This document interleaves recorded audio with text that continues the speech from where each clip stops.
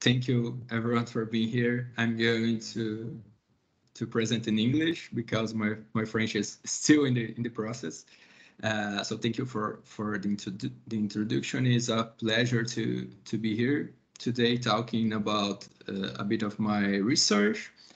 Uh, as Bernardo said, I'm from Universidade Federal do Rio Grande do Sul at Porto Alegre, south of Brazil and I'm now doing a, I'm in a sabbatical. I'm doing a postdoc at the ENS here in, in Paris. And what I'm going to present you to today is, is part of, uh, of my research that I've been developing since my, my PhD, which is the more macroecological part of it, uh, about patterns of richness and also morphological disparity for rodents in South America. Then I'm going to display patterns of diversity, geographic patterns of diversity, which regions we should expect to see more rodent diversity in South America, and also another part, which is disparity, how phenotypically different these rodents are in South America, especially. So a short introduction about what are rodents of South America, we have three major uh, radiations or monophyletic groups of rodents in South America today. The oldest one to here, hope you see my pointer, are the caviomorph rodents, which arrived between 30, 40 million years ago, very likely through transoceanic dispersal for, from Africa. Then sigmodontine rodents, which I'm going to speak uh, a lot more because I have a lot of morphological data. They arrived in South America via dispersal from North America a bit before the closure of the Panamanian Isthmus. They are today the group of uh, highest richness among the three. And the more recent and a bit less diverse group in South America, which are the squirrels, which arrived uh, about five, six, uh, seven million years ago. So considering these two groups, which so sigmodontines have about 430 species, caviomorphs about 250 species in living species South America today. We have a rich, uh, rich fossil history for caviomorphs, not so much, but a bit for, for sigmodontines as well, but I'm going to talk about living diversity. So these are the patterns of rodent richness. In 2015, it came this book, Rodents of South America. So Bruce Patterson and I uh, compiled the range maps, the geographical range maps, and constructed these metrics of incidence for, for rodents occurring in half degree cells across South America. So the A, the A map is the rodent richness. We can see the more red colors, the peaks of the diversity are concentrated along the Andes chain of mountains in South America, which are here, mainly northern Andes and central portions of the Andes. And then we have another peak of richness in the Atlantic forest of South America. And in general, the lowlands of Amazonia and the Cerrado, open areas of Brazil, have uh, Uh, also great richness of these rodents.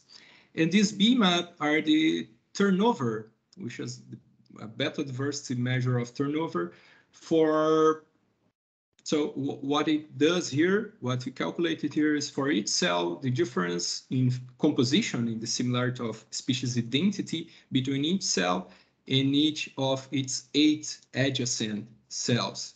So the average of the distance in composition in the density of species for each focal cell to its neighbor cells.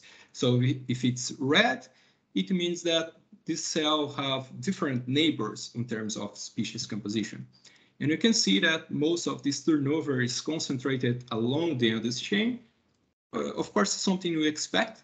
Uh, so if we have high richness, that's because we have different species, then we expect this uh, difference in turnover, but we have also like this region here, not so much richness, but a lot of turnover, and other regions in the east of South America as well, which display high turnover, and uh, some other regions in blue here with not so much turnover. This is for the two groups combined, so excluding sciuras with are, are, are, a few species only, the, the bulk of, of the richness are displayed here. And because mammals in South America compose a, a little more than half of mammal species, you can expect that the mammal species resemble this pattern as well.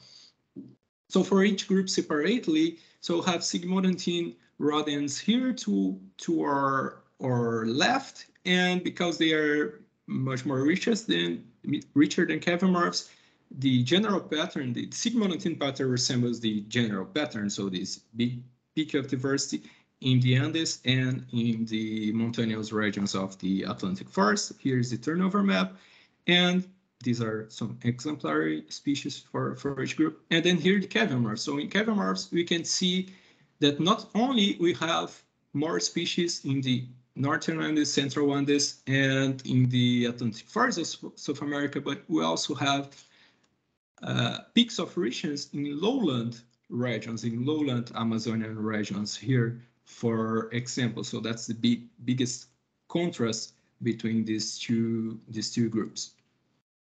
Uh, this is to give an idea. So Sigmodontines, 430, 450 species. Uh, they are much more rich than caviomorphs, basically uh, everywhere except this lowland region, region regions here in, in Amazonia and here uh, Caatinga and a bit of Cerrado of Brazil. Uh, where so this is this is not this is geographic overlap of maps, right? This is not really co-occurrence. I may use the word co-occurrence here during this talk, but it's not like small scale co-occurrence de, de facto. No, it's just geographic overlap of range maps, okay? So if you sum the geographical overlaps of range maps and you got one group mi, mi, richness minus the other, then you got sigmodontines basically mainly more rich in the Andes and, and Atlantic forest and caviomorphs in lowland Amazonian regions. And then this B graph is the 25% most richest uh, cells for both in black and for sigmodontines in blue and, and these caviomorphs in lowlands here in red. And then we search for environmental factors, we got a lot of uh, environmental and topographical factors in case of elevation here, and we try to see, we did model selection, to try see, trying to find the variables most correlated with richness. And in fact, very few variables are correlated with richness. You got overall low relationship for linear and, and polynomial Uh, graphs, but to have a few variables standing out mean, mean innovation for sigmodontines and mean temperature for caviomorph rodents. This is just to show you, this, this is for, for rodent the richness combined. Longitude, these two peaks of richness, here the Andes and here the Atlantic forests. So you can see here that there is an imprint of elevation for both groups, but also in these high elevation regions, we have uh, many of those grid cells with few with small species richness. That's why the relationships are not net linear. For instance, here you have sigmodontine regions in elevation, and we have a lot of yellow cells here, which is, are basically this yellow here in the west coast of the Andes, more arid regions where you have high elevation, but not so much richness, so few richness so yeah, so elevation yet among the, the other environmental and topographical variables stand out are the best for sigmodontines, well, not good, the best. And for caviomorphs, it was average temperature of each uh, cell in the present. That was the more correlated with caviomorph regions, although, as you can see, there's a lot of scatter in this graph. Okay, so th these are the patterns of diversity. Now I'm going to focus on sigmodontine rodents. And we started to look later to morphological variables and in space in this macroecological context of assemblage. First thing we did, the most simple thing we could possibly did, we just got average body mass values for species. So the average for species in the literature And then we just calculate the average for every, for all the species whose range overlaps superpose or overlap in, in a single cell. So there are three species, we calculate the average of uh, the assemblage size, the average of size of these three species.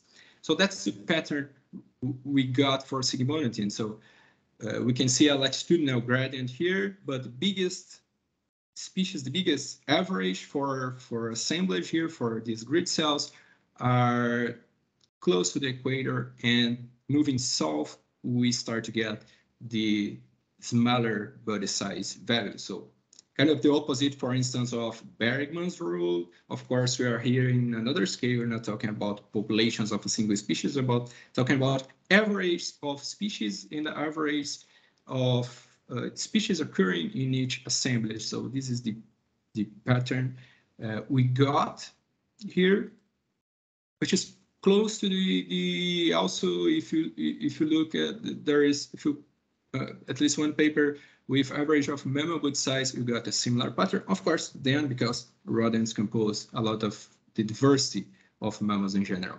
But then we talked about uh, doing something more more refined. So we got this database about body size and not only body size, but we got a database about a lot of uh, phenotypic variables, usually categorically broad variables, but we we we hardly we seldom have like this this really uh, this in macroecology variables that are really really refined like measurements of schools we, we hardly see that. So we thought about doing that and, and um, i did that for for my phd so i went to scientific collections around the america uh, the american continent. Mostly of these species are provenient here from the Field Museum of Natural History, uh, where I spent part of my PhD, but also other seven scientific collections and I measured these specimens, uh, 2,877 specimens from uh, geometric morphometric that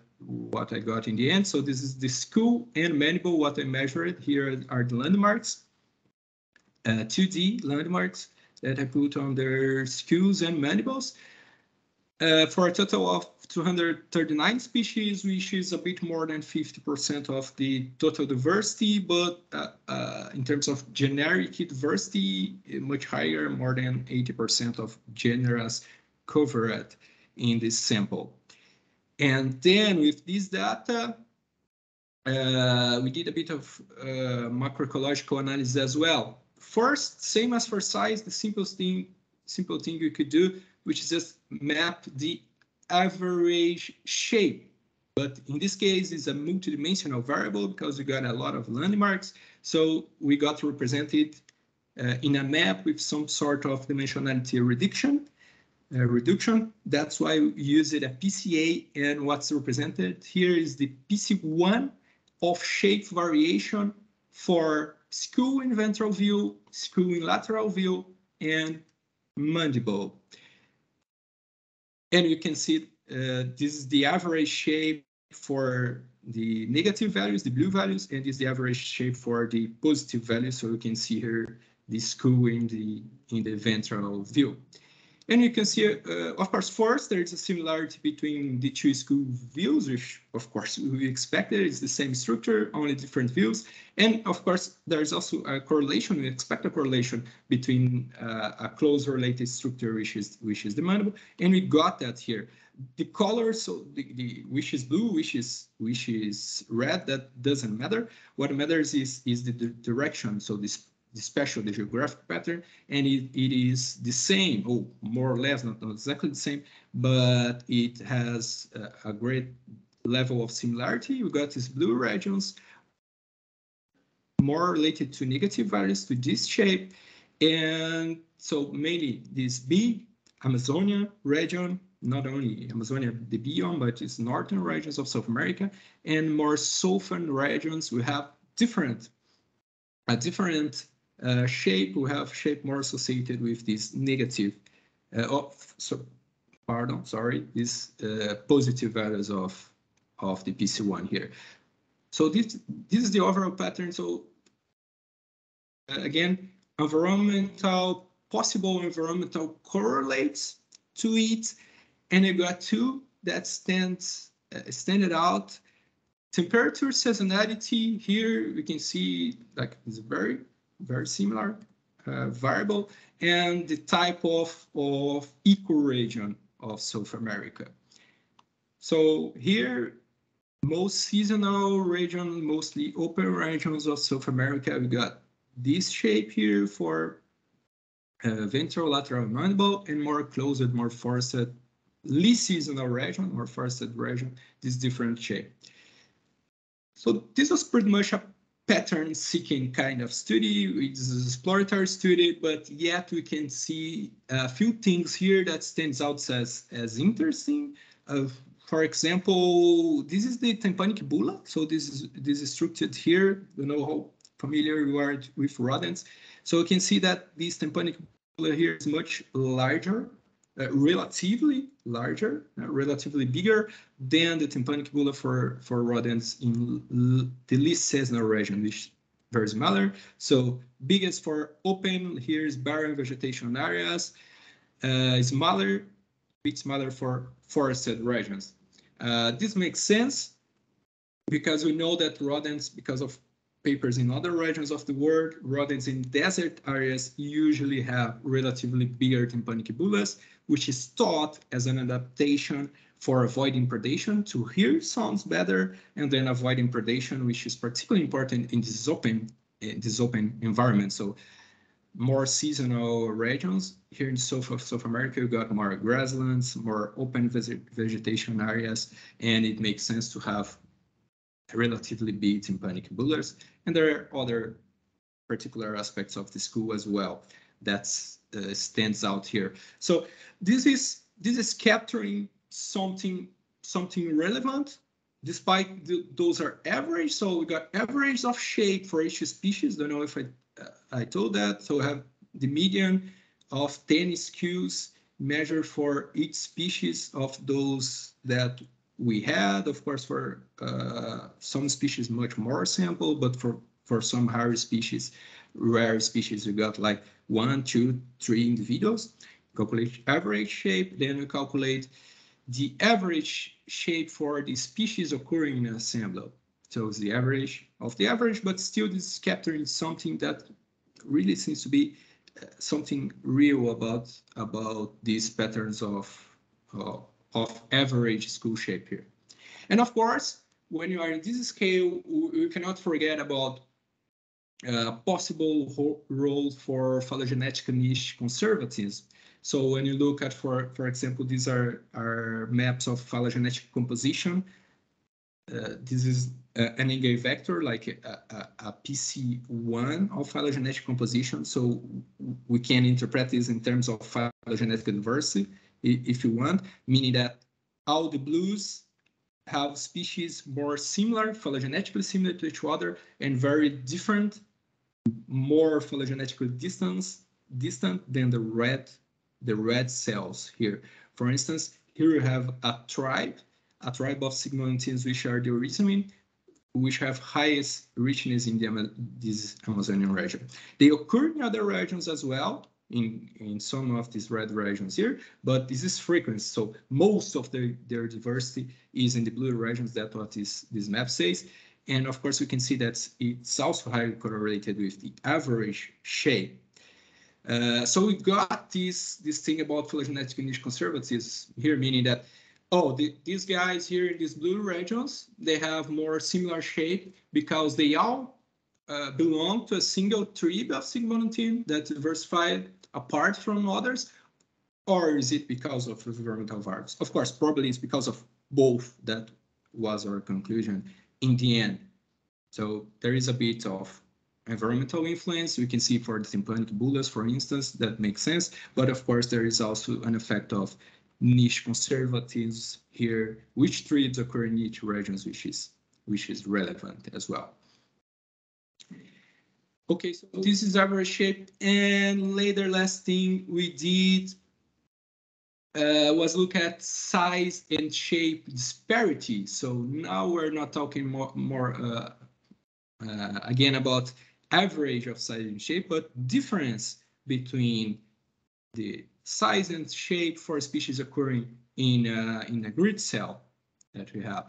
So here we have phenotypic disparity. We use this raw phenotypic disparity, which is the pairwise similarity, the average pairwise similarity. So calculate difference in size between each species occurring in each assemblage and then got an average. This is pretty much what, what raw is for presence absence data, which is we got. So blue regions more different. These species are in terms of size so here we are using school size specifically, not overall size, but it's supposed to be correlated. And the blue, meaning these species are more similar in terms of size. The average size of the species are more similar to each other. And then you see a pattern where we have this center of South America here, plus the east coast, plus the northern uh, Andes, the Andes to the, to the north of South America, which have uh, higher size disparity. And then, then for shape, we did the same thing. We calculate the average pairwise difference between each species occurring in each cell and then calculate an average of this difference. So we have red species are more different in terms of shape. Blue regions species are more similar in terms of shape. But they're somewhere similar, so we got this uh, and this chain here, you can see that's a bit more red, and the east coast of South America is a bit more red. And here in more lowland regions, we got less phenotypic disparity, and here in the south as well, bit of less phenotypic disparity. This is overall raw phenotypic disparity. One thing that's interesting, of course, is that it's supposed to, to be a correlation between this disparity and species richness, which is what we got here too. This is for shape, this is shape disparity, but we got a similar pattern for size. So this observed disparity here in, in the vertical axis is for dot is a cell, is, is a grid cell or an assemblage, and then you have species richness here in the in the horizontal axis. And you can see that there is a, a linear at some point. Of course, a saturated relationship, but it's it's an increased, more or less linear relationship for uh, each species you you you put more in, in, a cell, we got more phenotypic disparity and more phenotypic disparity until more or less 20 species richness.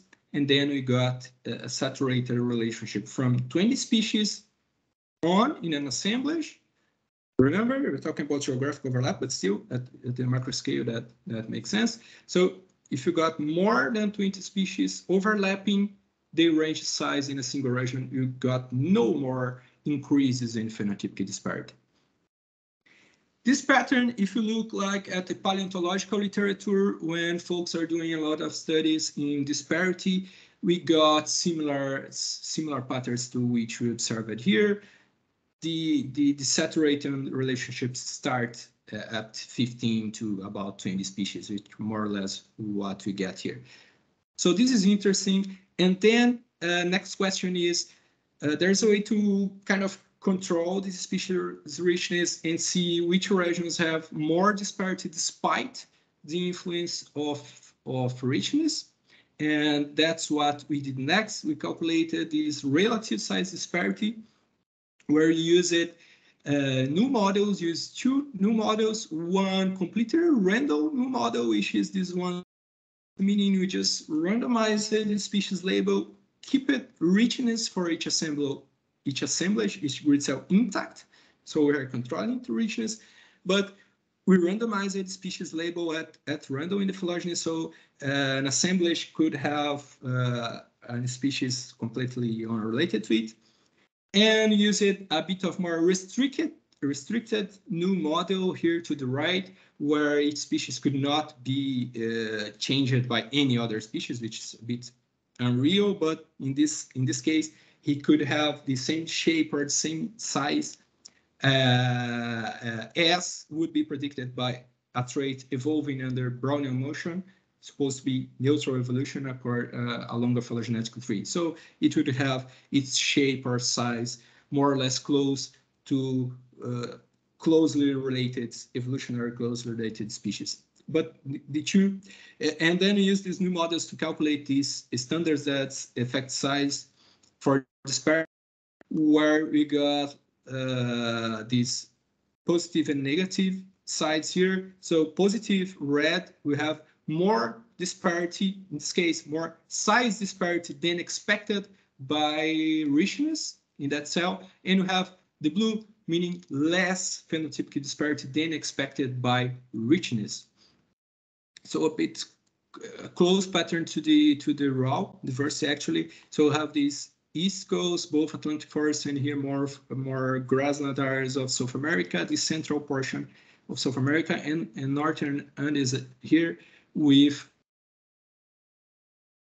disparity than expected by richness and other regions in the south in, in, in, the north with less disparity. Oh, and, and these in these smaller graphs here are the p-values. So red p-values, more disparity than expected under p 0.005, and blue less disparity than expected under p 0.05, and no color means no no different than expected by by richness.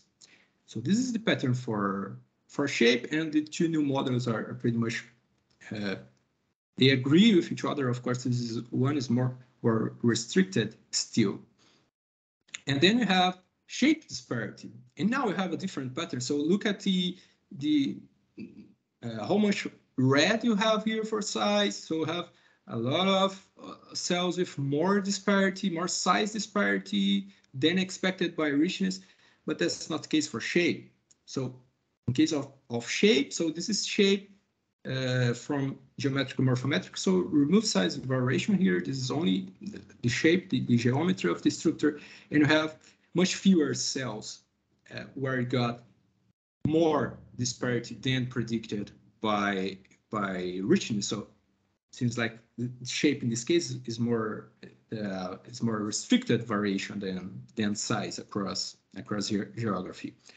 And I have most of South America we in the blue so less disparity than expected by richness, to the exception of the red cells here, which are mostly concentrated in the Atlantic forest. So in both cases, so same both new models here, here is, this is more random, completely random. This is more restricted. So have fewer, fewer yet uh, red cells, but still some.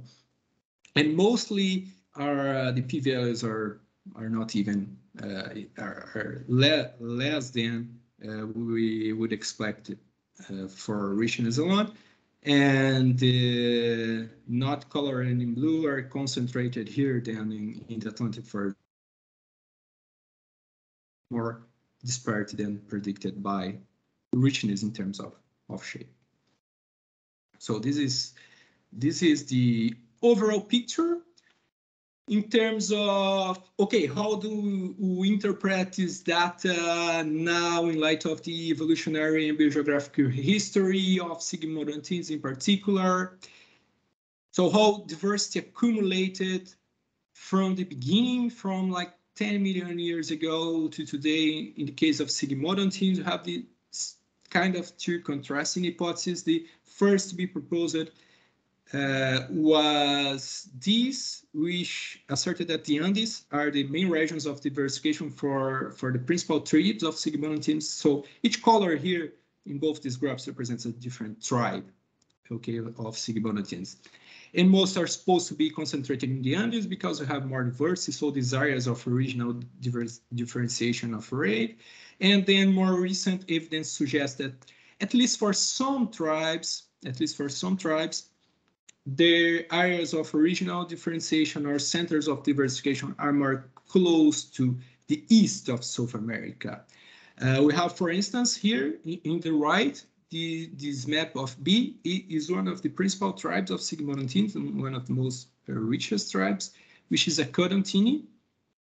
And you have a strong peak of richness here in the Atlantic forest and here in central Andes. And this is like the dominant trip in the Atlantic forest, which is relevant for for these results I, I showed you about the Atlantic forest having higher disparity. And for others, so this is another principal trip. This is Oryzomyini. Uh, we got a lot of diversity in the Andes, in northern under uh, under regions, and in in the Amazonia, and a few also entering in the Atlantic forest here. So that's how diversity accumulates. Uh, and then we have so this mainly Amazonian group and this mainly Atlantic forest group here, the, the ecodontids, or, or at least with high richness in the Atlantic forest. And then we can start to put together like a, a, picture of their events of diversification and accumulation of disparity. So in the case of diversity per se, in the case of accumulation of diversity, there, there are evidence, evidence suggestions that allopatric scattering was really important. Dispersion events for some tribes like Oryzomyini are really important in the accumulation of diversity. And you have, when you have like allopatric speciation, you may not have uh, biggest difference in terms of phenotype, right? So we can have species more or less similar to each other. Uh, this is evidence for low ecological speciation from, from a past uh, paper where you look at for associations in a macroevolutionary scale, in this case, not biogeographic explicitly, of shape and size with diet and life mode, and we find very few. So most of the, the, the this speciation may be associated with, with allopatry, with few morphological diversification. Although have, although we have association of diversification with lowlands. And in the case of Akodontini, at least this from Atlantic Forest, we have climate as important for diversification. And then so in terms of disparity, what I show is high, it's high, at, at least in Atlantic Forest, then compared to most of South America. And in the macroevolutionary scale, low association between disparity and diet life habitat, low association between morphological disparity and locomotor specialization. This is for uh, humerus, for scapula, and for other post-cranial uh, morphological characteristics. But except for Akodontini, where we do have, so these Akodontinis which occur in the east coast of South America, they have some recent evidence for ecological convergence. For instance, they have uh, a new team which are the insectivorous rodents. And so evidence for, for divergent selection seem to be strong in Akodontini, which makes sense in light of our, our geographic data here, because it's higher precisely in east in Atlantic forests of South America, where this tree reaches the peak of, of richness. So uh, that's more or less our, our conclusion here. So the Andes have high species diversity, the highest species diversity, but however, they have relatively low morphological disparity compared to other regions, which may suggest uh, various events of allopatric speciation with few morphological di differentiation accompanying uh, this, uh, this speciation. In the other hand, the Atlantic forest, the east coast of South America have high species diversity, so the second peak of diversity after the Andes, and still they have high morphological disparity, may suggest that divergent selection is perhaps more important there in the Atlantic forest than in the Andes. And okay, you should look, of course, to more closely to explicit associations between disparity and diversification, geographically eh, disparity for other groups of rodents, other groups of, of mammals and others. Despite of different aspects of morphology, I showed only skull size. I didn't even show mandible disparity. Uh, I didn't do it, that yet, or even postcranial, or even other aspects of the phenotype. And we don't know precisely what are the how biases impact. Like I said, use the geographical range maps. Perhaps if you use point locations, you could get something different. Taxonomy and phylogeny is are always changing. We should look more closely at taxonomic and phylogenetic source of uncertainty here as well. So that's it. That's basically the the general idea what I, I had to show. Uh, I thank you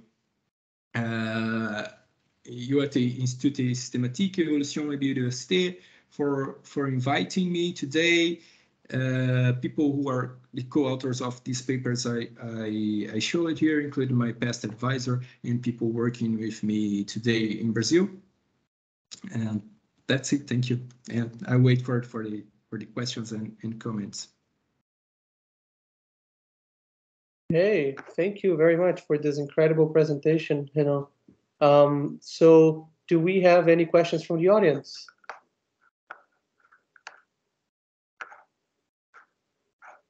Well, while we wait to see if anyone has questions, I have a few of my own. Um, first, um, you you talked a little bit about how the differences in shape were structured um, according to some environmental variables, but you also said um, uh, that phylogeny could play a role and that in the end you decided you, you got to the conclusion that both were important, but it didn't go into much detail of like um, how did you assess the, the role of phylogeny into into this and so on. So if you can explain a little bit, that'd be great.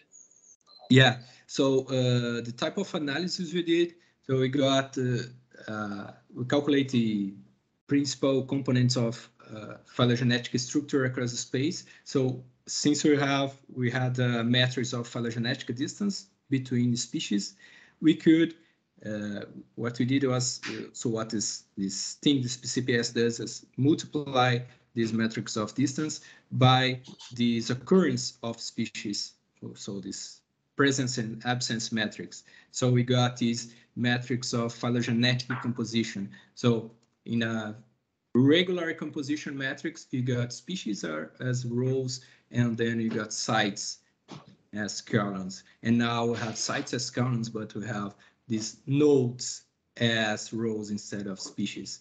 So that way, uh, it's more or less similar to a, a composition matrix, if you mm -hmm. because you know at this scale, large groups are, are really different, but there is uh, there is nodes there, so yeah. forces a bit this phylogenetic relationship.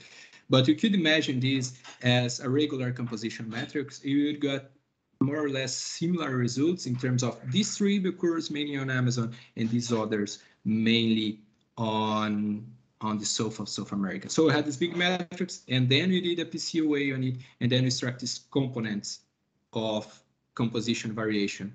And these components use as we use it as predictors. So our response variable, response variable in the model was the average shape. One of the prediction, the predictions were the environmental variables, and the other were these axes of phylogenetic composition across space. So we did a mm-hmm. variation partitioning analysis. That's what we did. And the shared component was the most strong. So the shared between environmental variables and this phylogenetic composition. And from that analysis, that came as my conclusion. Uh, well, it's both. We cannot really separate the, the influence. I see. Interesting. Uh, I also wanted to make sure to mention, um, before I forget, that uh, we are having a happy hour with Renan uh, today at um, 6 p.m. or 18 hours at um, Café Jussieu. Uh, that way, if you're interested in posing more questions or discussing uh, the methods or objectives of his research in more detail, we'll be there. It's our um, new initiative here in the seminars because um, we know lots of people miss the in-person uh, interaction of the seminars, but at the same time, having the seminars online allows us to show uh, the research to a lot of people who might not be on site on those days. So we're trying to combine the best of both worlds here and and have um, and have the speaker come to a happy hour with us today, 6 p.m. Uh, are there any more questions from the audience?